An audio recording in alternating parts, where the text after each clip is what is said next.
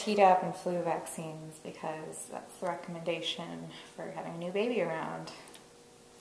and I don't can't even remember the last time I've had ow I've had a shot. I think it's probably been 20 years. no, probably sooner than that. Am I done, doctor? You're done. Let me just put some band-aids on. Oh yeah. Do I get a lollipop?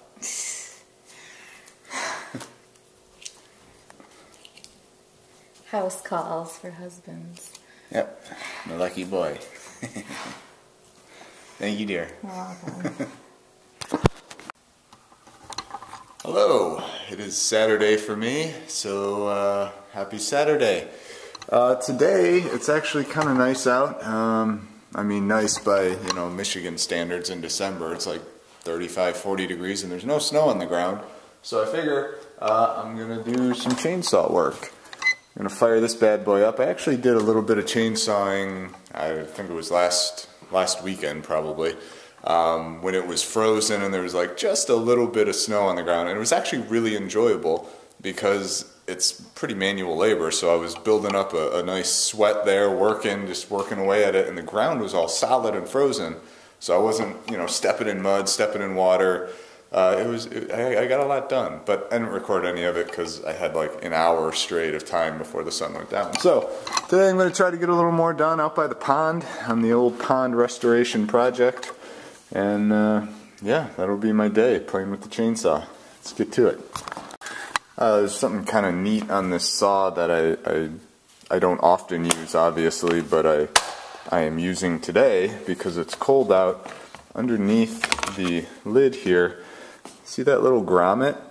Um, I already moved it last time I used the saw, but normally in the summer you take that grommet and you put it right in this slot here and that blocks off um, pretty much these two chambers. Here's the air intake and here's the engine block itself. That little uh, that little grommet pretty much is a firewall between the heat of the engine and the air being sucked in from the outside. So in the summer, you know, you want it to suck in air from, oh, there goes my light, uh, from this back area.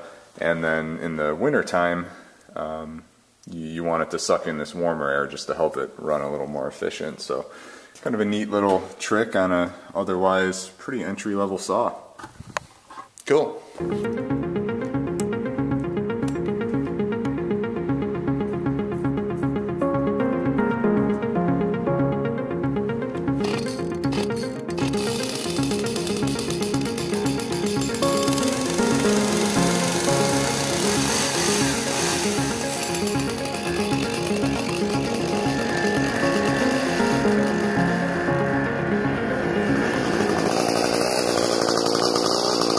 My original burn pile. And this is pretty much what I've been clearing for the whole summer and into, into the winter now. Um, built a little pile of stuff there. And uh, yeah, last weekend I had kind of cleared more around the edge and built that pile and that one was there. That was what I scraped up with the uh, ratchet rake over the summer. So yeah, I'm just gonna start clearing around here and probably making another brush pile back there. Look at that. You can see the water and it's all icy. Hopefully it's, uh, hopefully I can stand on it, but we'll see. Alright, that's what I'm starting with.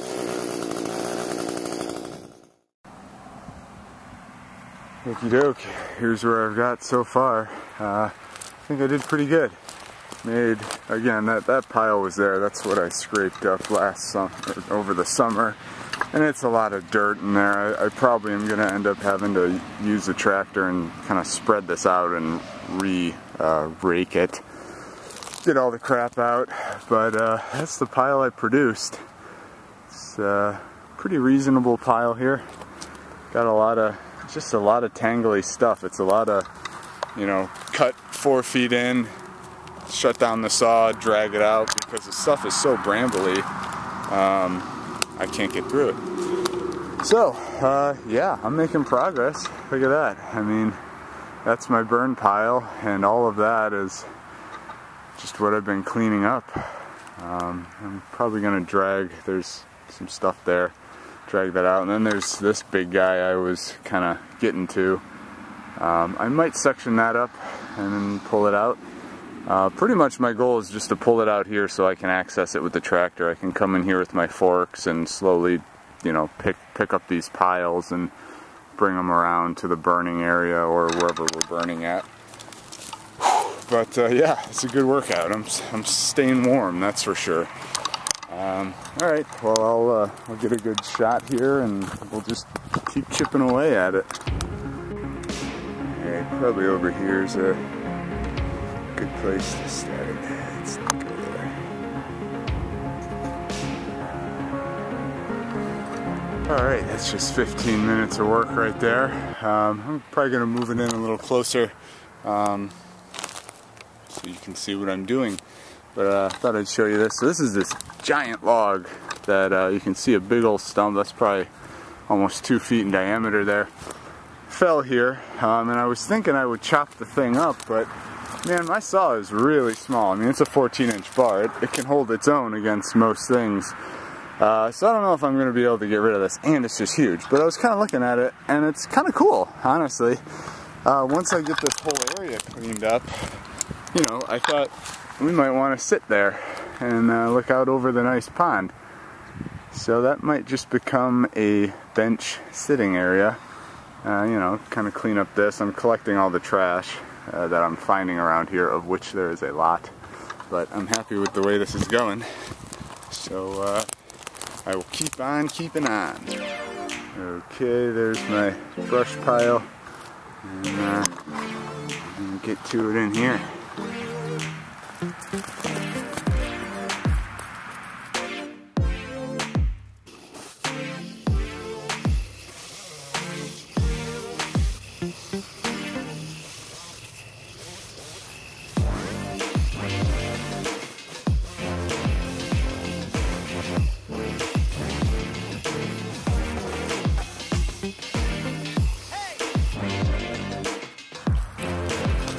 See how this quickly becomes a rambly mess.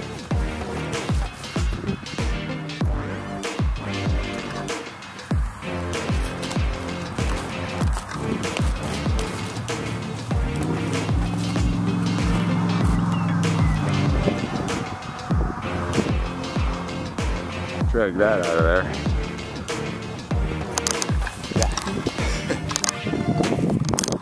Probably gonna wrap it up here soon. I promised my wonderful wife I'd go for a walk with her since weather like this is such a treat. So I'm gonna clean up this tree here. There's a lot of little trees fighting with it and I, I want the big one to survive. So I'm just gonna do this guy real quick and uh, and I'll call it a day.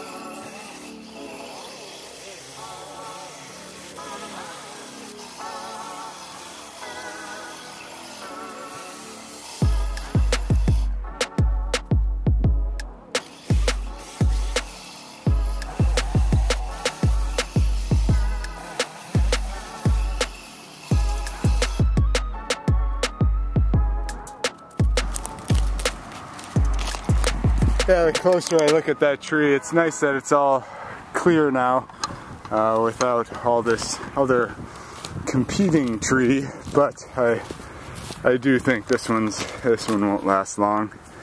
It's uh, it's already given up the ghost there, and uh, I was just cleaning up this edge because at some point a long time ago, a large branch fell off of this. So anyway, it'll get me through.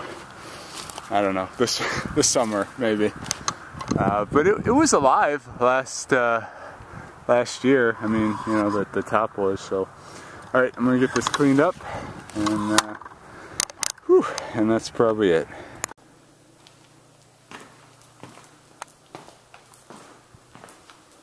What's going on in here? Just trying to get this installed correctly. Mm. Let's see that baby bump. I need a sideways shot. there she is. Yeah, baby. It's level. Mm, gotta keep baby safe.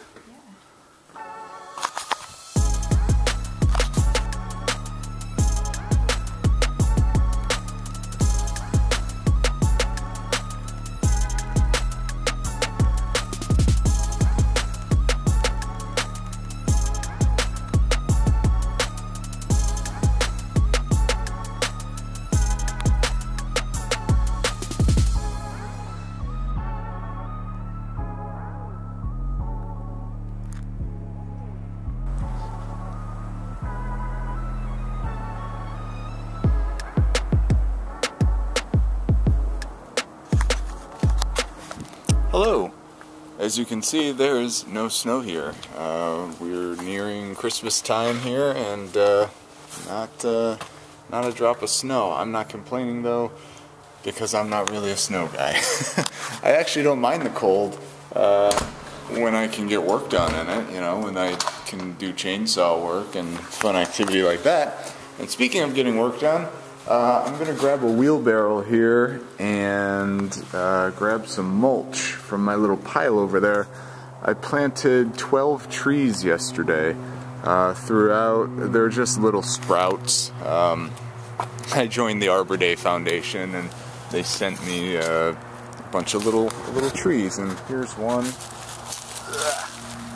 right here just a just a little uh, I think it's a Norfolk spruce something like that, evergreens. So there were 10 of those. I put uh, one, two, three, about, you know, five feet off this house, um, just to fill in this spot. And then the remaining seven I spread kind of throughout along the edges here.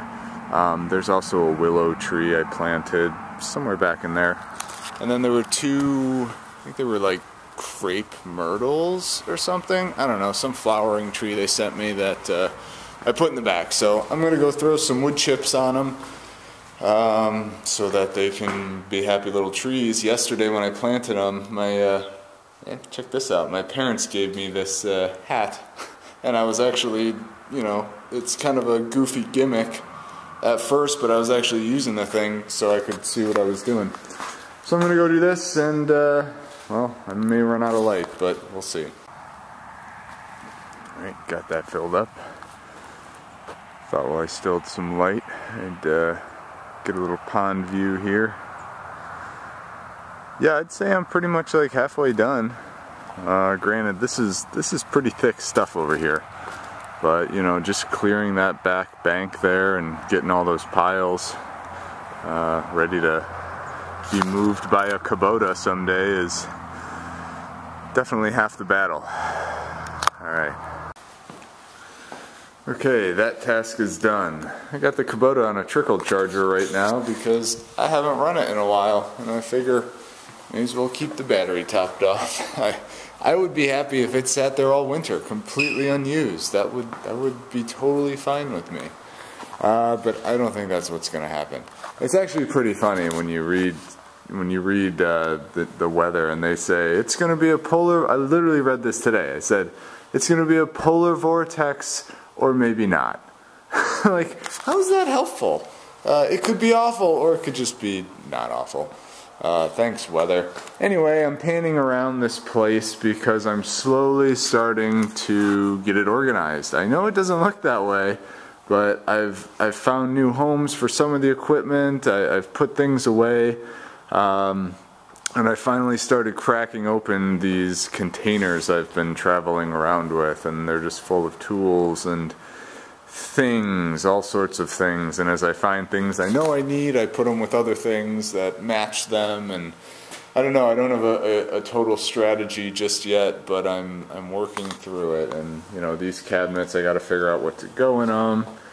Uh, so it's just a slow process here, but I'm really excited to get it all organized and. Uh, yeah, and, and, start using it effectively. I want to put some pegboard on the back wall here and, and, hang my wrenches and some other tools and get this all cleaned up and tidy so that I at least have a nice like workshop area and then this whole floor area is open for you know car storage, tractor implements, uh, baby and baby related goods. Uh, all right, well, I don't think I'm working on, uh, I don't know if I'm going to do much here today. I just kind of wanted to have a before uh, view of it all because it's going to look awesome soon, I hope. All right, well, thanks for joining me. If anything else interesting happens, I'll bring you along. See ya. Hello. Um, I bought something for the garage.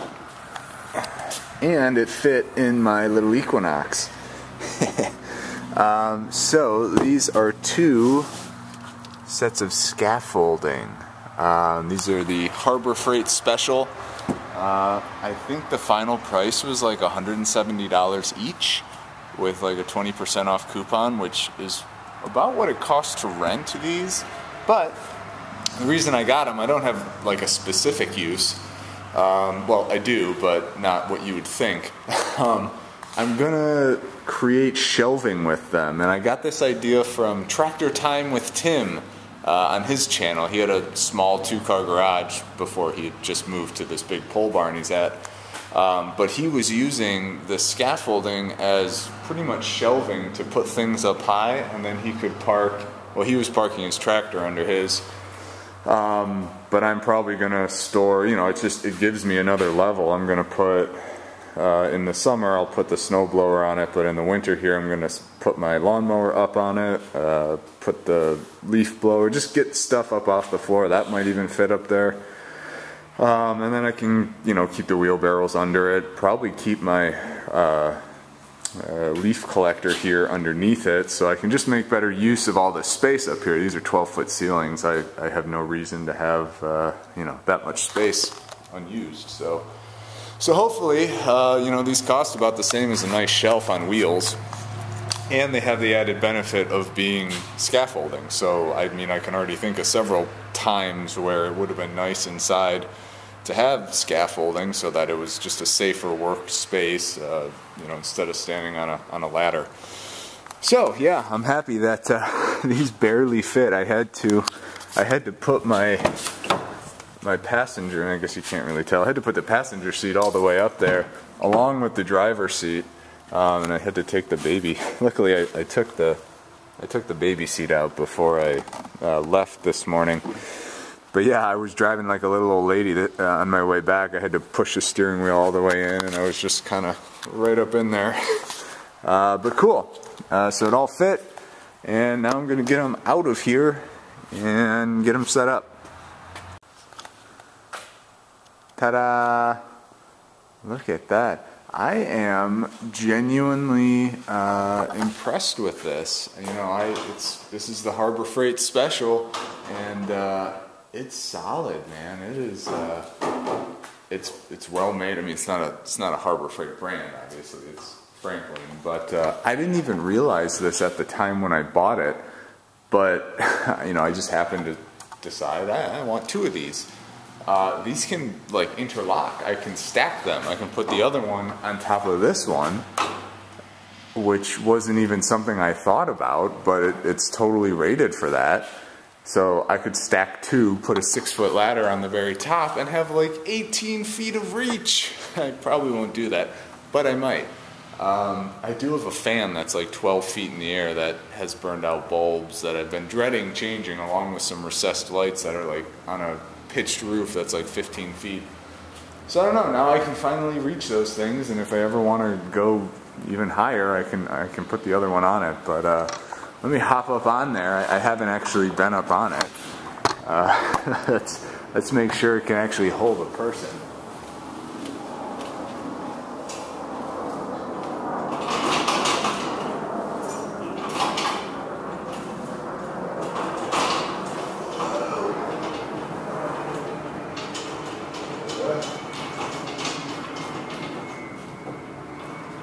Well, it's a little shaky, but you know, it's sturdy. Just, uh, I'm not gonna do any dancing on it or anything. Alright, I need to get down.